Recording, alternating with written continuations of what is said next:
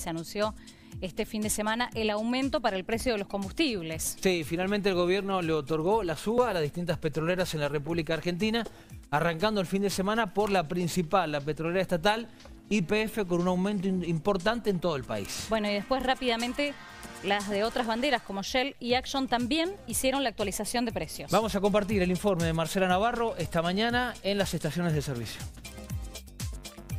El primer minuto de este domingo volvieron a aumentar los combustibles en Argentina y así quedaron los precios en IPF. La nafta super se comercializa ahora a 135 pesos. El día sábado se vendía a 123 pesos.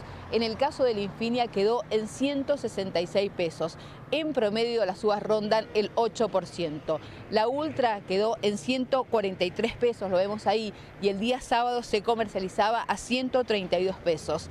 En el caso de la Infinia Diesel se comercializa actualmente a 189 pesos y el día sábado se vendía a 175 pesos. El GNC quedó igual en 69.89.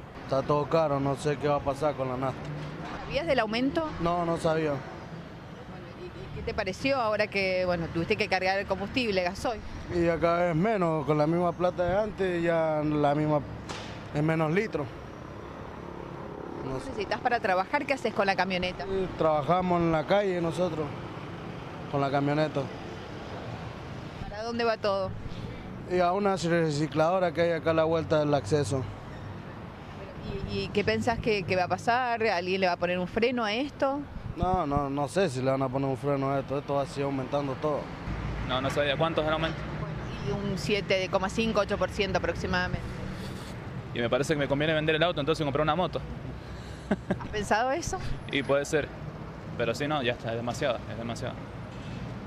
Pero bueno, si no queda otra. Encima, lo, lo, peor de todo es que aumentan, aumentan y nadie hace nada como para decir, che, quejémonos un poquito de que está aumentando todo, porque se quedan conformes, aumenta, pero nadie dice, bueno, hagamos algo, qué sé yo, quejémonos un poco.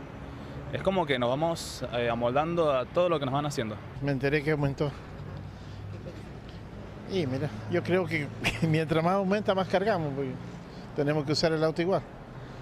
¿En caso para qué lo usas? Para trabajar. Para trabajar y para uso familiar.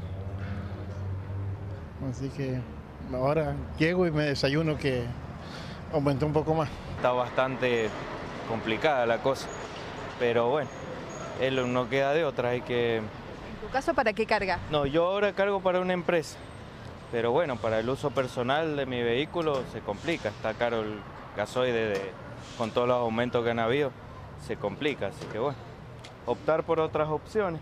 ¿Qué opciones? Eh, bicicleta, transporte, para abaratar un poco de costo. No me sorprende nada, que te diga. Vengo, cargo y ya está. Ya no me hago más problemas. Así que bueno, no tengo más nada para decirte. ¿Crees que va a cambiar esto? No sé, no creo, no, no. No, no creo que vaya a cambiar. ¿Cómo uno, cómo uno vive con tantos aumentos? ¿Cómo haces vos en tu casa? Eso yo, nos reinventamos todos los días. ¿Qué te puedo decir? Para mí la política es un gran cajón de manzana, que viene una manzana buena y bueno, ahí se pudre con el resto, es así, esa es mi percepción.